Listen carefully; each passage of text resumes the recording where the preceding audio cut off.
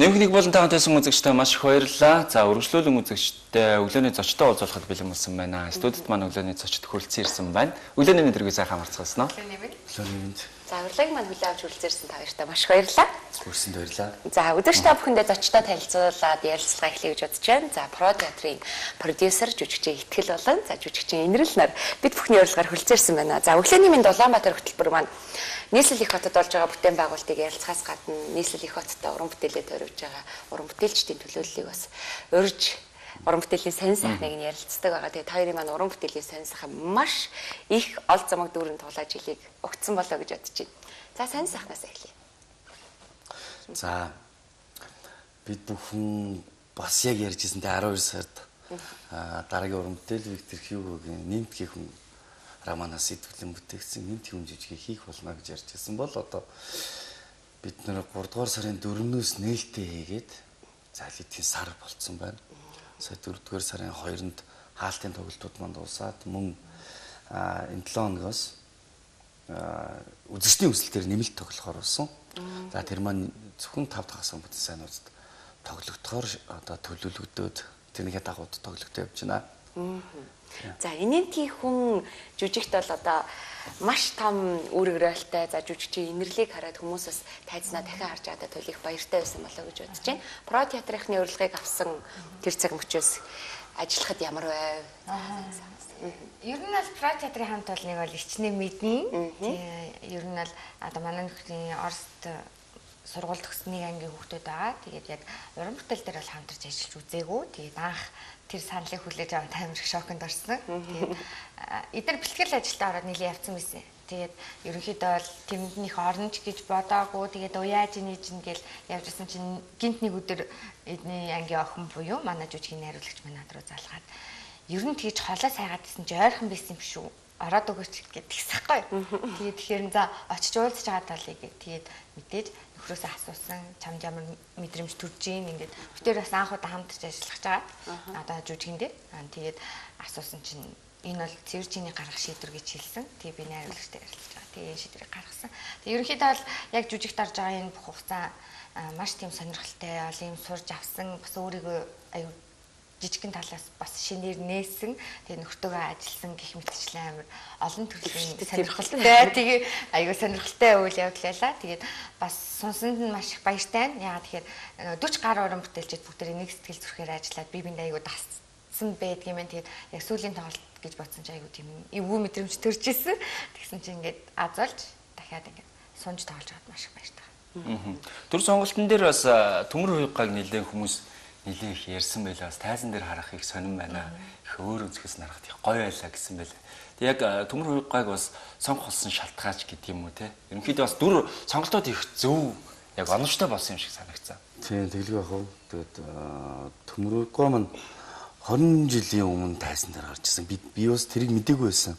Тэгээд 20 жилийн дараа 2003 онд драмын театраас гарснаас хойш тайзан дээр огт гараагүй байна гэдгийг нь бид нэр бүр жүжиг хийхдээ мэдсэн те. Тэгсэн. Тэгээд тухайн үед бас би бас тодорхой хэмжээгээр шоконд орж илаа. Өөх тийм билүү. Бид нар ямар ер нь бол анх яг ингээд за энэ урсуус гэдэг дүрийг ярилцчих та яг бодчихсон. Үнэхээр энэ бол за мэдээж 50-аас 70 насны хооронд байх хэрэгтэй байна. За тэгээ яг юун дээрээ дүрдээ тохирч байгаа манай уран бүтээлчдээс хэн байх вэ? Яг драмын театр, драмын урлагт одоо ингээд одоо ингээ мэдээж хэцүү бид нар нөгөө урлагийн байгууллагаас жүжигчингийн аваад ч юм уу ингээд айгүй хэцүү тэгэл нөгөө драмын театраас ч юм уу те хоёр давхурдаад ч айл айл нь давхурдаа тоглогчвол маш хэцүү байдалд ордог. Тийм учраас за одоо манай жүлөө дуран бүтээлчдээс хэн байгаа гэхэд тэг ер нь бол эхний гурван сонголтоос номер 1-ээрээ гарч ирсэн манай төмөр гавьят маань байгаа. Тэгээд энэ эднэр маань ингэсэн байгаа хгүй яг нөгөө 20 жил тоглоогүй гэдгийг мэдээгүй. Би бас амар хаяад дандаа ингэ шоконд ордог хгүй яа. Тэгэхээр нөгөө а тэр тэр манай жүжиг хийж үзэн гинэ гэх нэг тийм алдартай мэлэн мөтөдний ангих. Тэр нэг хий ингээд яг нөгөө Монголын хайг урлагийн тэр одоо ингээд ажиллаж байгаа ч юм уу тийм нэг мэдгүй да. Ягаад тэгэхээр өөртөө бас нэлээд хэдэн жил өмнө Орос төгссөн. Тэгээд Оросоор ингээд жүжиг тоглож байсан. Тэгээд Оросын театрт ажиллаж байсан тий. Тэгээд яг Монголд ирээд шууд пра театрыг байгуулсан болохоор тэр төлөв мэдлгүүд амар дуртай байдаг. Гэхдээ надад бол маш онортой шийдвэр санагдсан. Тэгээд нэг бас сонгох болсон шалтгаан гэдэг юм бол Урсус гэдэг дүр өөрөө нөгөө нэг юм хатан юм шиг боловч дотроо юм зөөлрж байгаа. Тэгээд яг тэр дүрийн шугам нь яг л бүр яг төмөр Яг үгүй ингээд тий. андаг. Тий тэрэн ч гэсэн ингээд ерөнхийдөө тийг сонгосон болов тэгээд яад ч юм бас яг нэг өөр талаар нь хэлэхэд яг энэ л ах хэвээр энэ л ах хэвээр энэ л ах хэвээр биш нэг сайн явбал нөгөө сайн хүмүүстэй очихно гэдэгдэн штэ яа ч юм ингээд манай энэ хамт олон 40 дүүн байгаа юм нэг тийм нэг тийм азар азар ингээл ороод ирсэн юм шиг би бинийг аягуулсан ойлголцдог тийм хизээний хамт урамтай хийжсэн юм шиг тий. Тэгээ одоо нэг дараачихын жүжиг нь хизээ ямар жүжиг вэ гэж одоо баг дараагийн жүжигийн нэрийг хэлчих юм бол би өөртөө баг дөрөө өглөө. Ингээ багаараа тооч. Багаараа ингээ яач тий. Сая хаалтын үйл ажиллагаан дээрээс нэг тийм болсон л да нөгөө зарим нэгэн залуу уран бүтээлчтэй эднэр ингээд театртаа жинхлээд авчихсан тий. Тэрийг харахад аюу догтлж илээлаа. Тэгээ зарим нэг нь бас нэг манай нүүр бодогч ах мэдэхгүй тий ингээд альбисны мейкап артистээр авч ийн гэсэн чинь гахад сууж Тгий.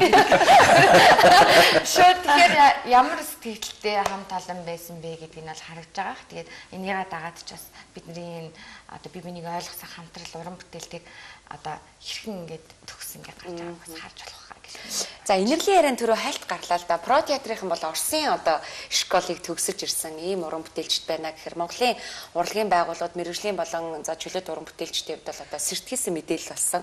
10 гаруй жилийн өмнө одоо бас засгийн газрын одоо одоо юугаар хиндэ захиалгаар тий захиалгаар ингэж энэ олон оюутан залуучуудыг бас Оросын театр урлагийн академид сургах энэ боломж бий болж за өнөөдөр тэр залуучууд маань шижгэнсэн залуучууд ба төгсөж ирээд инээмтгий хүн гэдэг сонгодог визуал драмыг ингээд тавьж байгаа нь. Өөрөө маш гоё түүхэн үйл явдал болж байгаа юм болов эргээд ботход хаанаас ихэлсэн бэ энэ цэг гэдгийг ярил. За бүр эртнээс яг бид баг 2010 онд л ингэж ярьж байсан. Тэгээ 2014 онд төгсөөд Монголдо ирээд тэгээд ямар нэгэн шалтгаанаас болоод ч юм уу бүгдээрээ хуух амьдралыг те хөөсөн. За тэгээд тодорхой хэмжээнд мэдээж энэ 8 9 жилийн хугацаанд туршлага хөрөнгөлүүлээд сураад биднээс тухай театр гэдэг ойлголттой гарч ирсэн болохоос театрт хэрхэн үйл ажиллагаа явагддаг процессын талаар бид нар огт мэдлэггүйсэн шүү дээ.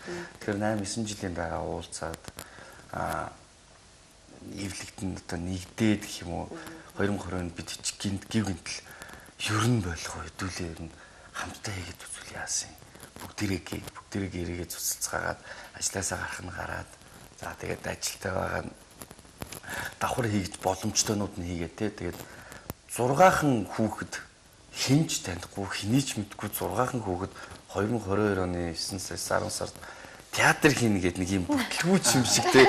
Хинийч тарихгүй шүү дээ. Хамгийн гол нь хинж мэдхгүй тийм 6хан хүүхэд. Одоо бид нар бол одоо яг дөнгөж 30 гараад явж л байна л да тэгтэл ингээд хинж мэдхгүй тэр энэ урлагт угаасаа тийм л байхгүй. Бид 6-ыг хинж танихгүй хинж мэдхгүй. Бид 6 ч өөрөө хүнээ танихгүй болоо тий одоо ямар жүжигчин өрөх уу энэ дэр хэнийг ор тоглох гэхээр ингээд мэдэхгүй те. Тэгээд яг тийм 6 тийм залуу одоо ингээд 45 6 оны бүрэлдэхүүнтэй театрыг бий болгоод ингээд нэмтгий хүн гээд хэрваргийн бас хүмүүсийн оролдод өгдөг зүйл биш энэ чинь маш хүнд зохиол. Дээрэс нь Францын алдар зохиолч Виктор Хьюго тийм дандаа ирээдүйг зөвгөн живчдэг байсан тийм ээ. Өөрөө бас нэлээд хэцүү амьдралыг туулж явж исэн тухайд 1800-д тэр хүний ноён ориглуудын нэг бол нэг болох тийм нэмтгий хүн романыг за одоо мэдэхгүй одоо ямар юугаад сонгож авсан гэдэг би 6-гийн хувьд бол тэр амар том айдас бас зориг байсан бохоггүй. Тэгээд энийг барьж аваад хийгээд ажиллаад одоо 45 6 хүний бүрэлдэхүүнтэй ийм театрыг бий болгоод явж байгаад бол нэг бодлын энэ нэг юм зүвдлэж байгаа юм шиг мөрөдөлч юм шиг те боловч бас ингээд хүнд хүрээд хүнээс урмын үг сонсоод зэмлэл сонсоод одоо энэ манай ардын жижигчин Лбрийн Баатар давгаах хэлдэг шиг зэмлэл магтаал хоёрыг зэрэг дааж яваарэ гэдэг шиг. Яг ингэж явж байгаа юм мэдгүй. Одоо хүртэл итгэхгүй байгаа юм шиг. Тэгээд бүр давраа тоглолтоор сунгаад тэр сунгасан тоглолтыг маань ингээд тэгэд юм рүү ороод харахад бас ингээд дүүрэн аваад байгаа байхгүй. Тэгэхээр бас бид тодорхой хэмжээгээр бас гарч ирж байгаа юм болов уу? Бас танигдах гад ядаад байгаа юм болов уу? Тэгээд хамгийн гол нь үдсэн хийсэн бүтээл мөнөөрөө хүнд хүрээд байгаа нь маш их баярлалаа штэ. Бид бас нэг урам өгсөн. Цаашдаа бас ямар уран бүтээл хийж авч явах уу, ямар уран бүтээл дээр ажиллах уу гэсэн нэг тийм эрмэлзэл төрөөд мэдгүй би нэг зургуулаа нэгдэл нэг 2 3 уран бүтээл игээл шатрал за урлаг хатуу шүү дээ. Ингээл үнэхээр тууштай хичээ одоо юу гэдгийг сэтгэлтэй байхгүй бол энэ урлагч маш хатуу тэгээд маш их зарчимж байх хэвээр хичээнгүй байх хэвээр дээрэс нь мэдээж юм юм шаардна те авьяас эн чин авьяасаа дагаад мөнгө юу гэдгийг хичээл хөдөлмөр зүтгэл хөлс маш их гардаг Тэгээ одоо хүртэл мэдгүй зүтлэж байгаа юм шиг санагдаад байна. Тэгээ анхны уран бүтээл нь нөгөө нэг том уран бүтээлээр эхэлж байгаа болохоор за тэндээс бас босгоо их том тавьчлаа тийм маш их уран хүчийг авсан учраас бас дараа дараагийн уран бүтээлүүд бас нилээдгүй том уран бүтээл гэдэг бас тавкад орж бас магадгүй юм тий. Тий, ер нь бол төлөвлөгөө одоо бид сая одоо нэг 4 5 хоногийн өмнө уулзаад хуралдсан хурлаараа ярьж байгаа. За ингээд ер нь бол би тэгэж боддөг юм. Бид нэр маш их нэг тийм агуу зүйл хийхин төлөө маш том зүйл хийхин төлөө эмэлцдэг болчих. Би зүгээр эсэргээрээ надад болохоор тийг санагдаад. Хэдүүлээ хүүхдийн уран бүтээлийг аягүй сайн их хийе л да. Хүүхдүүдийг бид одоо бид нар ингээд зэрэглийг хүмүүжүүлнэ гэж яриад байгаа байхгүй. Одоо үзэгчдийг хүмүүжүүлнэ. Үгүй бид нар багаас нь бэлтгэх бүгдээрээ л одоо ингээл Анна Каренина ч юм уу те мэдгүй одоо юу гэдгийг ингээл нэмтгий хүн Фауст ч юм уу амар айхтай том том романыг авч ажиллаад хийгээд нь штэ бид нэг талаараа сайн боловч нөгөө талаараа энийг чинь шууд хүлээгээд авахд маш хэцүү. Тэм учраас бүх театрыг магадгүй хүүхдийн уран бүтээлийг маш сайн хийсэн. Заавчгүй оруулж өгөөс тий уран бүтээлийг. Тэгээд багаас нь бид нэр зэрэглээ бэлдэх хэрэгтэй. Тэрний дараа тэр хүүхдүүд ч өсөж одоо том болоод 15 16 хүрэхт нь заа маа нэмтгий хүн романыг үз.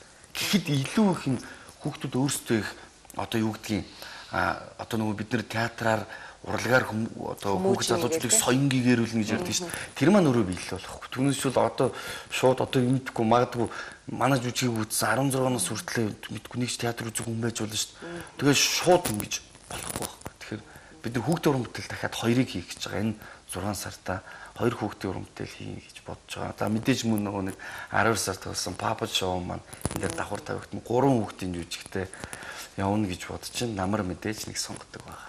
За ер нь бол маш том төлөвлөгөөтэй байгаа юм.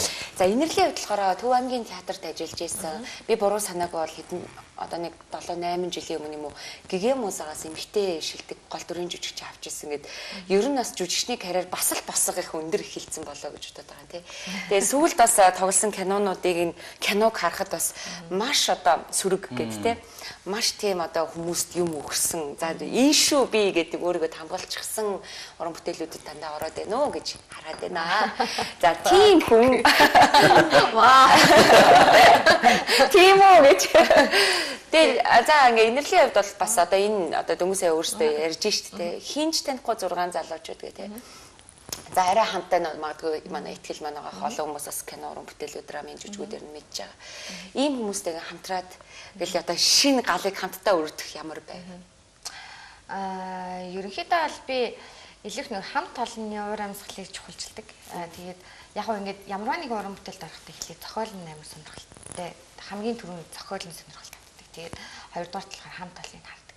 Яг ингээд уран бүтээл хийх гэдэг нь эсвэл арай өөр төрлийн тий зорилготой байна. Өөр төрлийн гайхшруулах зорилготой байна уу ч юм уу тий тэр байдал өнцгөөс нь миний ингээд одоо бодож авдаг үнцэгт хэр нийцэж ийн гэдэг хамт олонны байдлыг хардаг. За хамт олонны хувьд бол эдгээр ямар ч тийм асуудалгүй мэдээж аль дээр үесээ мэддэг байсан. Аа тэгээд нөгөө талаасаа гэх юм бол бас юу л дээ аа яг миний насны эмэгтэй одоо дэлгэцэнд ч юм уу ямар нэгэн байдалд 16 тохны дүр тоглоно гэдэг бол аюу хэцүү байхгүй. Тэгэхээр энэ бол надад бас олдсон бас нэг ховор боломжтой байгаа. Одоо нэг яг тэгэж харж одоо дүрээ сонгох чинь бас амар ховор штэ. Тэгээд авчингууд би энийг яг алдаж болохгүй юм санагдсан. А 3 дугаарт гэх юм бол эдгээр одоо юуж мэдгүй хинч танихгүй гэж байгаа боловч миний өнцгөөс харахад ийм байгаа хгүй. Эдгээр ингээд одоо жишээ нь ингээ хувийн амьдралаа хөөгөөд тал тал тишээ гэлдэг чинь тэгтээ хин ч урлагаа орхих байхгүй. Одоо манай хүн жишээ нь одоо улсын драма эрдэмт театр 5 6 жил ажилласан. Бус нь одоо Улаануд үлгэр театрт ажилласан. Аль аль нь мэрэгчл дээшлүүлээд одоо дотроо энэ зургач хідэн найруулагчтай ч үлээ болох юм. Одоо нэг магистрат гэсэд баахан найруулагчд болсон. Тэгээ өөртөө жүжигчд тэгэнгүүтээ бас ингээ Оросын албаны улсад би ч одоо ингээл нөө найзууд нь учраас ингээд сонсож байгаа шүү дээ. Тэнгүүд одоо яг ийм муудаатай агаар нэг одоо алтан маск гэдэг. Салтай маск тийм. Алтан маск гэдэг одоо уралдаан уралдаанд ингээд бас ингээд жүжиг мөд хэрэг дүр мөрөөр яваад байдаг байхгүй. Гэтэ бүгд Оросын албаны улс шүү дээ. Оросын одоо юу гэдэг Оскар гэсэн үг байхгүй юу? Тэр чинь Оросын хамгийн ингээд яваад байдаг хүмүүс чинь Монголд ирэх хэрэг танихгүй болчиход байгаа болохоос ш. Яг нөгөө уран бүтээлчийн чанар чансааны хувьд бол миний бодлоор бол айгүй өндөр байсан. Тийм тэгээд аа бас эднэр чинь айгүй өөр өнцгтэй ирж байгаа гэдгийг би бас уран бүтээлч шин салхи салхилж гин үү юу юм. Тэгээд тэнгууд би тэр нь хэрвээ арах юм бол мэдээж арай жоохон өөр төрлийн байхыг нь бол ойлгочихсон. Тэгээд шин салхи бол айгүй аймд их салхилсан. Тэгээд орс төгсөн хүмүүс хоорондоо ярьж лээ л дээ. Орсоо ингээд битавой драмын хүнийг яаж ямар образны юм юм гэж яриад би бүр ингээд гахаа тэг яг намайг ахын театрын жүжигчэл гэж хэлээ. Өөртөө бол аюу тийм үйл мүллийн театр хашгаа. Тэгээд бас нэгдэж мэгдэх гэж нилээ болсон. Тэгээд аа миний хувьд л аюу сонирхолтой байсан. Яг аа энгийн үгээр тайлбарлах юм бол яг Монголд илүү их одоо тавилт нь жүжигчний хавар чадвар дээр суурилдаг. Жүжигчний ур чадвар ингээд жүжигчин хөтөлж авч яваад эднэрт болохоор нөгөө жүжигчин ингээд текст хэлээд байж ивэл бараг л бус тийм ингээд иймар ингээд найруулгаар ч юм уу те ингээд бараг шидчихгээд ам шүү. Ер нь тийм мэдрэмж бол надад төрсөн. Одоо чи бараг үгээ цэглэл байж гэл тэгэл тавилтаа ярилцаал те. Тэгээ яаж хаад амар бол найруулагчид мангар сүртэй. Тэгээд тайсны зураач нь бас ингээд өөрөө жүжигчин тий найруулагч юм аа гэсэн тэгснэ би тайзан дээр ингэж ажиллана. Амар үлгэр хийлээсэн. Одоо юу юм бэ? Тэ тэгээд ингээд шуумны хүн одоо гэрэлтүүлэгч гэх юм уу мэрэгжлийн хүн байх хэрэгтэй шүү дээ. Тэгмүүд жүжигчнэр төгссөн хоёр хүүхэд байж ах жишээний тэ.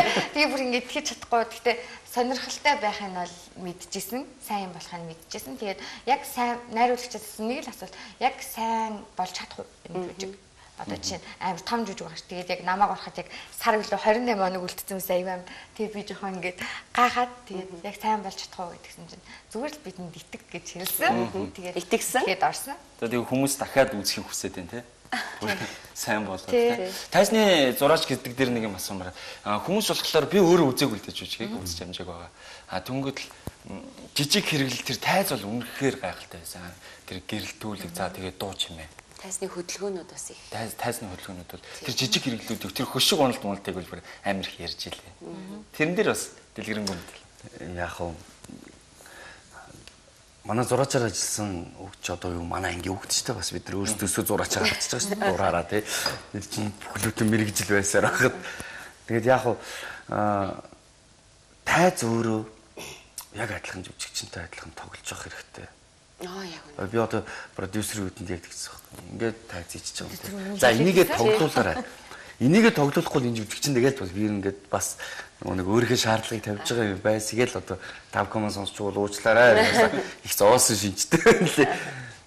Тэгээд анхаа маань өөрөө хитэн талаас нь бас бодож сэтгэж бас яг ингээд дүрслээ хараад яг цаасан дээр буулгах чад тий дүрслээрээ заасан дээр болгочоод яг ингээд бодит амьдрал дээр хэрэгжүүлэхэд маш хэцүү юм байлээ. Тэгээд тэрийг нь мэдээж гэрлэр тоглолн тайз өөрөө тоглож байгаа шүү дээ. Яг яг л нэг тийм тайз өөрөө нэг дүр байх ёстой гэдэг үзнээс авч үзэж одоо хийхийг зорьсон байгаа. За үдсэн миний хувьд ч гэсэндээ үнэхээр 1 секундыг ч алгасгүй үзэх хэрэгтэй байна. Эхлээс нь төгсгөлийн одоо хүмүүс уран бүтээлчд яслах хүртэл анхаарал ерөөсөө сарнихгүй үзсэн л дээ. Тэр бол яг уран бүтээлчдийн чадвар, за зохиолын гайхамшиг тий. Тэгээ үнэхээр энэ багийн одоо тэр сэтгэл зүтгэл үнэртжсэн. Тэгээд бидний ярилцах цаг өндөрлсөн байна тий. Бид хоёрын асууж амжаагууд хоёр манаас үзэгч болондоо сайхан уриалахыг хэлхийг хүссэн зүйл ах юм бол хэлэх боломжийг олгоё. Тийм. Миний хувьд бол тэгж л хэлмээр байна. Цааш ч гэсэн про театртай хамт байгаасай гэж бол би хүсэж байна. Үзэн нэлээд олон хүмүүс биднийг одоо байгаа гэдэгт итгэлтэй. Аа тэгээд яагаад тэгж зөвлөж байгаа вэ гэхээр ийм байна. Одоо эдгээр нэг ингэж үжиг гаргаж ирээд тавихаар За хин найруулах юм гэж. 6 өнгийг цөөхөн байгаа юм шиг хэрнээ эднэр бас ингээд жүжгүүд дээр ингээд тойрч тоглох байгаа юм шиг мэдрэмж төрөөд байгаа. Тэгэхээр бас ингээд шинэлэг шинэлэг одоо нэг одоо найруулагчийн бүтээлэлэг нэг иймэрхүү юм байна гэхэд дараагийнх нь одоо тэрнийх юм байна гэдэг юу авал айгу сонирхолтой байх болов. Юм бол бас нэг тийм өөр өөр үнцгийг үзээд те та бүхнийгаа уйдахгүй байх гэдэгт бол би итгэлтэй. За баярлалаа итгэлээ. Тэгэл бах уу. Бро театрын дараагийн өрөмтөл мэдээж 5 сарын 15-наас нэгдэх хүүхдийн хүүхдэд зориулагдсан хүүхд рүү чиглэсэн өрөмтөл байгаа. Тэгэхээр театрт өргөлж хамт байгаарай. Бид бүхэн цаашаа одоо залуу хүний хүч хөдөлмөр те эр зоригоор маш их одоо шинийг хийхийг эрэлхийлж байгаа. Тэгэхээр Про театрт өргөлж хамт байгаарай гэж хүсэж байна. За Про театрынхаа одоо ард нь ажиллаж байгаа 40 гаруй уран бүтээлчдэд те бас амжилтыг хүсье. Оюутан залуучууд, за мэрэгжлийн уран бүтээлчд Монгол Улсын гавьяа жүжигч хүртлээ. Энэ сайхан хүмүүсээс энэ жүжигийг одоо нийгэмд маш чанга дуугаар гаргаад ирлээ. Тэгээ та бүхнийхээ уран бүтээлд амжилт хүсье. Баярлалаа. За баярлалаа та бүхний ажилтсан амжилтсая. Баярлалаа. Баярлалаа үзэгчдээ бидний урилгаар өглөөний цэцчнаар маань жүжигчин итгэл, жүжигчин инрэл нар бид бүхэнтэй инээмтгий хүн визуал драмын талаараас тавчгаа мэдээлэл өглөө үзэгч та үзэх одоо энэ боломжийг бити алдаарай. За Эрцэнка буюу одоо бидний Оросын соёл шинжлэх ухааны газарт а тав дахь хаг сайн бүтэн сайн болгонд тоглогдож байгаа юм биш үү? Сүүлийн тоглолтуудыг та бүхэн маань амжиж үзээрэй гэж хэлмээр байна. За хамт ирсэн үзэгчтэй маш их баярлалаа. Өглөө хөтөлбөр маань энэ төрөйд өндөрлөж байна. Маргааш өглөө иргэн уулзлаа. Тэр баяртай. Баяртай.